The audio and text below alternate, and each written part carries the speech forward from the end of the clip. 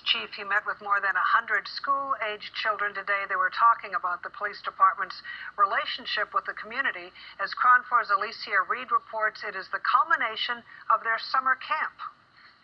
About 150 middle and high school children are celebrating the completion of their summer peace camp. At the expo, they put on performances, sold fruits from the garden they cultivated over the summer, and also got the opportunity to share their ideas on how to improve relationships between the community and the Oakland Police Department. My favorite thing was um, to learn about police brutality and how to stop it.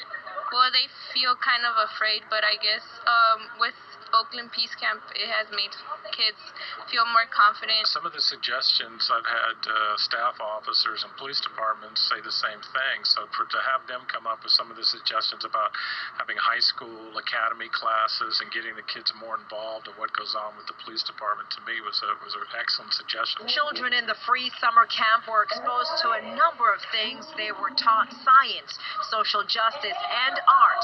This mural is a result of their work. Now, for more more than a decade, the organization Oakland Leaf has been empowering inner city children and giving them a platform to voice their opinions.